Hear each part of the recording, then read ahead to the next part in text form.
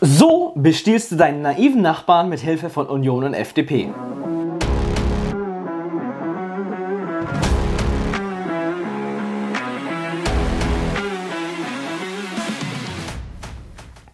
Ich erkläre dir jetzt, wie du deine naiven, möglicherweise rechten Nachbarn mit Hilfe von Union und FDP um Zehntausende Euro erleichterst.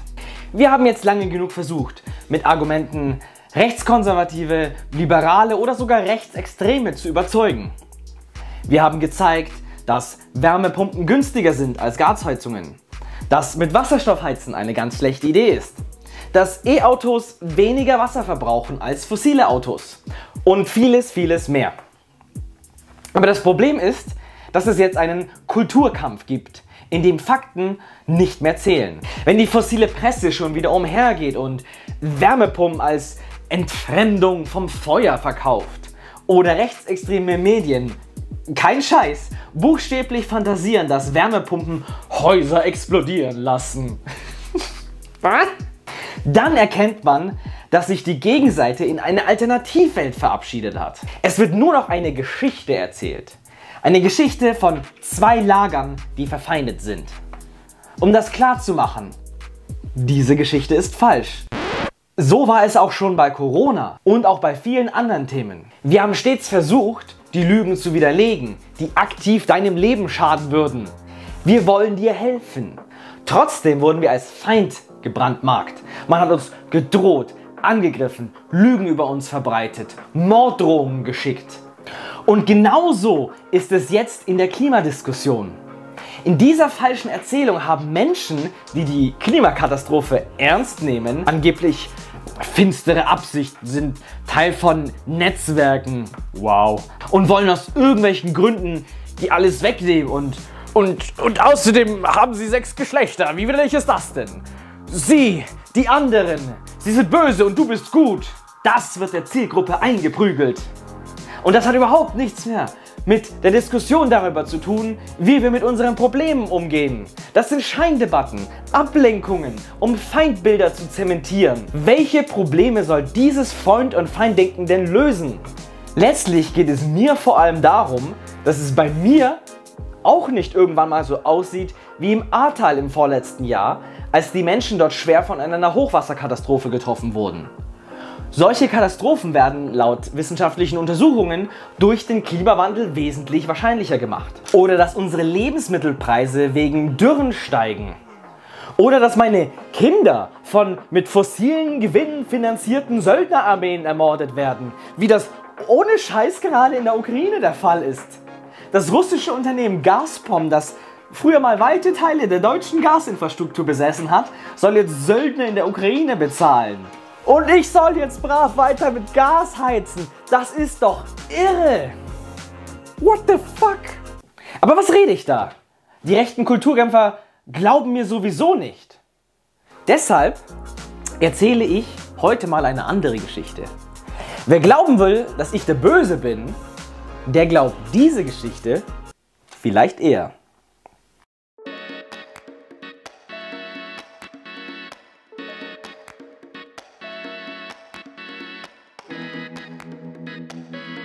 Und die geht so.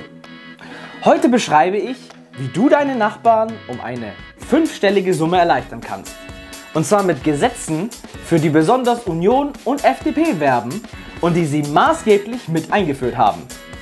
Alles, was du dafür tun musst, ist möglichst erneuerbar zu heizen und dir keinen neuen Verbrenner zu kaufen.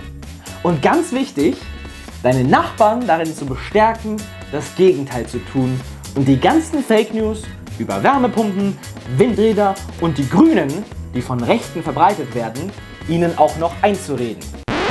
Richtig gehört.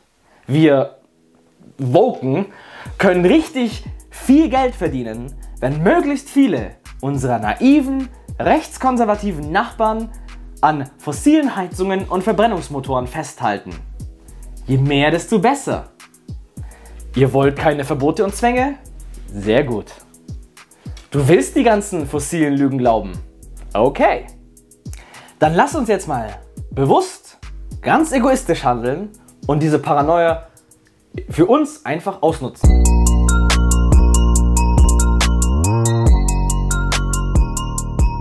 Emissionshandel im Gegensatz zu ordnungsrechtlichen Gesetzen, die beispielsweise über Verbote von Verbrennungsmotoren oder fossilen Heizungen funktionieren würden, läuft der Emissionshandel über einen Marktmechanismus. Deshalb sind Union und FDP auch große Fans davon. Kein Zwang und so. Dabei wird vorher festgelegt, wie viel CO2 ausgestoßen werden darf, entsprechend viele Zertifikate ausgegeben und darüber hinaus darf man nichts mehr ausstoßen. Für die Ziele Deutschlands heißt das konkret eine Reduktion um 40 Prozent im Bereich von Gebäuden. Und der Markt führt dann dazu, dass der Preis so lange bis ins Unermessliche steigt, bis dieses Ziel erreicht wurde. Wir wissen, dass das funktioniert. So hat Deutschland in der Gaskrise im letzten Jahr streckenweise etwa 20% Gas eingespart, vor allem durch die hohen Preise. Wenn es irgendwann so teuer wird, zu teuer, hörst du halt auf zu heizen oder du suchst dir eine Alternative. So viel zu ohne Zwang und so. Aber das trifft dann alles letztendlich den Verbraucher. Denn die Gaslieferanten, Kohlelieferanten oder Unternehmen der Mineralölindustrie müssen dann halt diese Verschmutzungsrechte in Form von Zertifikaten kaufen. Das heißt, wenn die teuer sind, wenn die Zahl der Zertifikate knapper wird, aber niemand auf erneuerbare Energie umgestiegen ist, weil sie die fossile Propaganda geglaubt haben, dann steigt der Preis massiv an. Das Mercator Forschungsinstitut schreibt dazu, ohne umfassende Förderprogramme, Verbote oder Standards, die auch in den Bestand von Fahrzeugen und Gebäuden eingreifen, sind im Jahr 2030 Preise zwischen 200 und 300 Euro pro Tonne CO2 denkbar. Dies würde dann zu Preissteigerungen von Kraft- und Brennstoffen führen, die in ähnlichem Umfang wie in der Gaskrise 2022 liegen. Und diese Unternehmen werden diesen hohen Preis dann entsprechend an die Kunden weitergeben. An dich. Das führt laut Mercator Center zum Beispiel zu diskontierten Mehrbelastungen über einen Zeitraum von 20 Jahren von 16.000 Euro bei Gasheizungen bzw. 23.000 Euro für Ölheizungen bei Einfamilienhäusern auf dem Land. Also tausende Euro mehr kosten langfristig. Für Verbrennerautos sind das etwa 10.000 Euro über 20 Jahre. Auch ganz ohne Verbote wird auch mit Plänen, die gerade Union und FDP befürworten, fossil heizen und fahren verdammt teuer. Diese Zahlen machen sehr deutlich, warum es heute bereits keinen Sinn mehr macht, neue Verbrenner zu kaufen oder in Gasheizungen zu investieren. Der Unterschied im Kaufpreis wird bald locker wieder reingeholt werden. Nur sind diese Preissteigerungen über den Emissionshandel eben politisch gewollt, auch von Union und FDP. Aber irgendwie erzählt dir das keiner. Den meisten Unternehmen in der Industrie ist das auch längst vollkommen klar. Beispielsweise will der größte Heizungsbauer Deutschlands ganz aus der Gasboiler-Geschäft aussteigen und wechselt auf Wärmepumpen. Keine Öl- und keine Gasheizungen mehr, weil, Zitat, das wird sehr teuer werden, sagt der Geschäftsführer. Auch die meisten Autokonzerne stellen den Verkauf von Verbrennern ein und das weit vor dem Ausstiegsdatum, welches die EU beschlossen hat.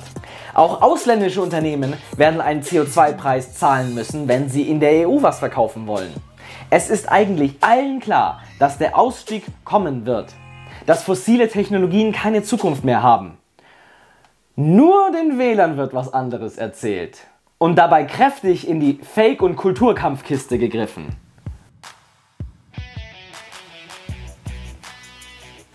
Und so profitieren wir von den Trödlern und denjenigen, die auf fossile Propaganda hereinfallen. Denn unermesslich hohe Preise, das klingt erstmal doof. Und auch schon nach Zwan, aber andere Geschichte. Nur im Gegensatz zur Gaskrise landet das Geld dann nicht in den Taschen der fossilen Industrie. Ich möchte daran erinnern, Exxon, BP, Shell, RWE oder Vattenfall haben alle Rekordgewinne im letzten Jahr gemacht. Die fünf größten Ölfirmen weltweit verzeichneten Rekordgewinne und machten einen aufsummierten Profit von 200 Milliarden Dollar. Profit? Nein. Bei hohen Preisen durch Emissionshandel, die werden umverteilt. Der Plan der FDP sieht zum Beispiel ein Klimageld vor, was dann wieder an die Bürger ausgezahlt wird. Laut Mercator sind das über die nächsten 20 Jahre bis zu 5000 Euro pro Person für Durchschnittsverdiener in Singlehaushalten und bis zu 20.000 Euro für Haushalte in Einfamilienhäusern. Geld, das du vom Staat zurückbekommst. Für die meisten Menschen heißt das, dass der Emissionshandel keine Mehrbelastung darstellt. Denn das Geld kommt dann ja wieder zurück. Das schreibt auch Mercator. Vorübergehend kann dieser Betrag die Mehrkosten durch die CO2-Bepreisung teilweise oder sogar vollständig kompensieren. Wer smart handelt, den treffen die hohen Kosten dann halt nicht so sehr. Denn das Ganze geht auch davon aus, dass die meisten Menschen sich fiskalisch vernünftig verhalten werden und keine neuen Verbrenner kaufen werden und keine neuen Gasheizungen einbauen, auf denen sie dann ewig lang hocken bleiben, sondern stückchenweise und über die nächsten Jahre hinweg auf erneuerbare Technologien umsteigen und sich so vor den hohen Kosten retten. Nur reden Parteien wie die Union und die FDP oder Medien wie der Axel Springer Verlag mit Welt und Bild ihren Wählern und respektive Lesern aktuell wirklich das Dümmste ein, was man sich vorstellen kann. Als ob sie ganz einfach weiter mit Gasheizungen mit nicht vorhandenem Wasserstoff oder Verbrennern mit nicht vorhandenem E-Fuels weiter betreiben könnten. Dass Wärmepumpen dir nachts auflauern und dich überfallen oder was sie sich als nächstes einfallen lassen, nur um die Angst zu machen. Technologieoffen. Nur sowohl Wasserstoff als auch E-Fuels gibt es halt noch nicht in Marktreife. Da fehlen noch Milliarden an Investitionen, die auch noch irgendjemand bezahlen muss. Im Zweifel halt die Endkunden, im Zweifel halt du. Und sie kommen sowieso viel zu spät. Bis man mit Wasserstoff heizen kann, ist der Gaspreis schon ins Unermessliche gestiegen. Abgesehen davon, dass es schon rein physikalisch nun mal zwangsläufig schlechter sein wird, deine Wärme oder dein Transport ähm, über Umwege mit Verlusten zu betreiben, anstatt einfach direkt. Das heißt, naive Leute, die auf diesen fossilen Kulturkampf und die Fake News hereinfallen, finanzieren dann bald unser Klimageld, weil sie auf Propaganda von Axel Springer und Co. hereingefallen sind. Und sie finanzieren die potenziellen Wasserstoff- und E-Fuels-Investitionen der Industrie. Aber das Gute für uns, je höher der CO2-Preis am Markt ausfällt, desto mehr Geld steht dann logischerweise fürs Klimageld zur Verfügung. Mehr Geld für uns.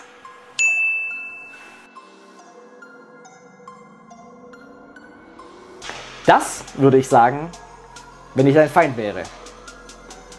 Denn es wäre eigentlich in meinem Interesse, die Trödler zu bestrafen, zu sagen, ja, kauf dir einen Verbrenner, es gibt bestimmt bald E-Fuels. Nein, hör nicht auf die bösen Grünen. Kauf dir keine Wärmepumpe. Die ist super gefährlich und sie, sie, sie explodiert. Ich muss jedes Mal lachen. Denn wenn ich dir etwas Schlechtes wollen würde und wenn es mir nur ums Geld ginge, wäre es ja gut, wenn mehr Leute auf die fossilen Lügen hereinfallen. Je mehr Leute auf die Grünen schimpfen und sich aus Trotz noch abhängiger von Fossilen machen, desto besser für mich. Wir kriegen dann mehr Klimageld und wir lachen sie dann wegen ihrer hohen Kosten aus. Aber wir sind nicht eure Feinde. Verbreiten wir denn diese Lügen, um von dir zu profitieren? Nein, das macht der Axel Springer Verlag mit Bild und Welt. Das erzählen FDP, das erzählen CDU-Politiker. Nicht vergessen, Bild und Welt gehören im Axel Springer Verlag. Der gehört zum einen dem Milliardär Matthias Döpfner, der meinte, der Klimawandel wäre gar nicht so schlecht und der seine Zeitungen für gezielte Beeinflussungen der Öffentlichkeit im Wahlkampf nutzt. Please stärke die FDP oder auch zu Teilen KKR, eines der weltgrößten Private Equity Firmen, die noch in fossile Energie investieren. Die profitieren dann auch ganz gehörig davon, wenn Menschen noch möglichst lange warten mit dem Umstieg auf Erneuerbare. Diese Leute versuchen, uns als Feindbild aufzubauen, damit du die Wahrheit nicht erfährst, damit du nicht für dich selber denkst. Wir wollen dich aufklären, dir helfen, Geld zu sparen und nebenbei den Planeten zu retten. Alle steigen aus fossilen Energien aus. Die großen Unternehmen wissen das, aber du sollst dazu gebracht werden, noch bis zuletzt die fossile Kasse zu füllen und dann den steigenden CO2-Preis zu bezahlen, den Union und FDP selbst am dringendsten fordern. Und den teuren Wasserstoff sollst du auch noch bezahlen. Fake News und Desinformationsverbreiter würden dich zum Zahlschaf der Nation machen. Anstatt auf reale und marktfreie Technologien zu setzen, die es schon gibt, Solarenergie und Wärmepumpen werden jedes Jahr besser und billiger. Der CO2-Preis steigt am Anfang noch langsam, also es muss jetzt nicht überstürzt gehandelt werden. Aber lass dich nicht von fossiler Propaganda verarschen. Je früher du aus fossiler Energie aussteigen kannst, desto besser für deinen Geldbeutel. Und halt auch für den Planeten, aber hey, okay. Und liebe Union, liebe FDP, der Emissionshandel kann eigentlich ein klasse Instrument für den Klimaschutz sein. Gut, dass ihr euch dafür einsetzt. Er funktioniert aber nur, wenn auch den Wählern klar ist, dass er funktioniert und wie er funktioniert. Ihr müsst euch entscheiden. Seid ihr für den Klimaschutz? Wenn ja, dann sollte man seine Wähler aber vielleicht nicht mit Desinformation in eine Kostenfalle laufen lassen. Nur um in Umfragen ein paar Stimmen dazu zu gewonnen und am Ende sowieso nur die rechtsextreme AfD zu stärken. Sonst könnte man auch noch denken, ihr denkt eher daran, dass es fossilen Konzernen besser geht und nicht den Bürgern.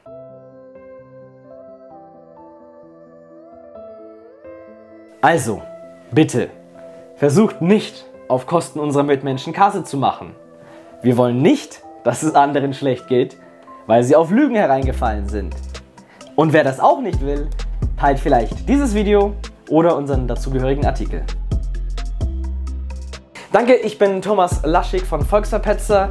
Wie immer äh, freuen wir uns über konstruktive Kritik und nein, Morddrohungen nicht dazu äh, unter unseren Kommentaren. Wir freuen uns auch, dass ihr unsere Beiträge liked und teilt ähm, und uns auch überall sonst folgt. Wir sind auf fast allen Plattformen und wem das einfach viel zu viel ist, uns gibt es auch als App. Die Volksverpetze App findet ihr einfach im Store und da verpasst ihr dann keine Beiträge, keine Sharepics, keine Artikel, keine Videos. Memes gibt es dort auch.